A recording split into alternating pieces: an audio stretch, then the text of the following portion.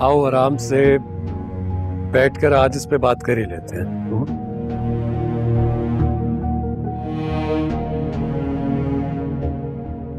दरअसल बात यह है कि मैं जानता हूँ अच्छी तरह। पिछले कुछ दिनों से मेरा रवैया बहुत बदल गया है है ना? लेकिन मैं वादा करता हूँ।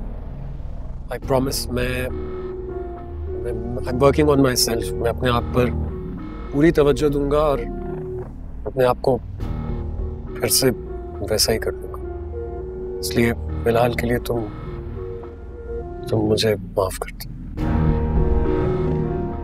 राहत बात माफ़ी की नहीं है। बात उस परेशानी की जो आपको परेशान कर रही है। आप, मैं आपकी बीवी हूँ। अगर कोई भी बात है, कोई भी परेशानी है तो आप मुझसे शेयर कर सकते हैं। मैं आपसे वादा करती हूँ, मैं आपका पूरा पूरा साथ दूँगी। और अगर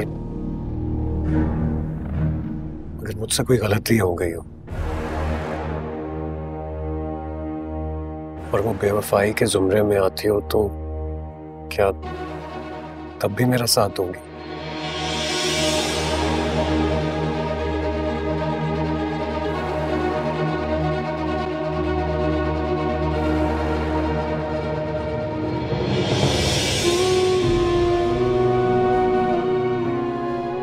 मैं इस चीज़ का तस्वुर भी नहीं कर सकती।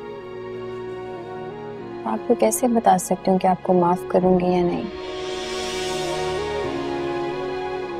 तो फिर तुम ही बताओ ना।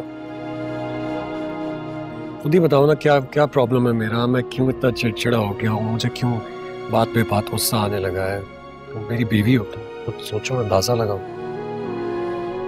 हो सकता है काम का स्ट्रेस हो। दिन रात तो आप काम कर रहे हो। फिर जो हमारी ज़िंदगी में कमी हो सकता है वो कमी, उसकी वैरानी आपको सताने लग गई है।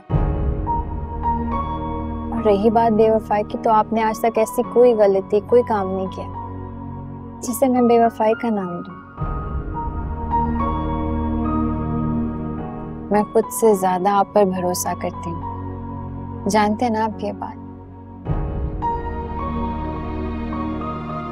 आपका रवैया मुझे परेशान ज़रूर कर रहा है। कि मैं आपसे बदगुमान नहीं।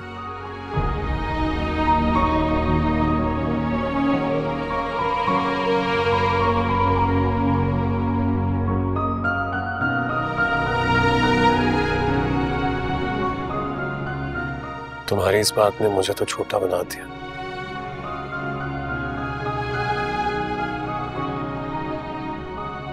शायद मैं तुम्हारी मोहब्बत और एतबार के काबिल ही नहीं। मुराद, क्या बातें कर रहे हैं आप? ये बात मुझसे बेहतर कौन जान सकता है कि आप किस चीज़ के काबिल हैं? इतने साल हो गए हमारी शादी को। इतने सालों में तुम यहाँ बीवी एक दूसरे की आहट तक पहचान लेते तो क्या मैं ये नहीं जानूँगी कि आप किस काबिल हैं?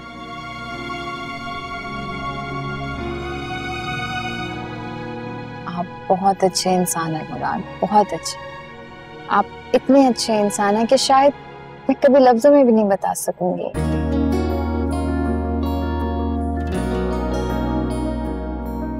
तो बस फिर। बस इस बात पर यकीन रखो कि मैं जिस मुश्किल में भी हूँ उससे अपने आप को निकाल ही लूँगा। थोड़ा वक्त लग सकता है, लेकिन पूरे वक्त में तुम्हारी मोहब्बत है जो मुझे डूबने नहीं देगी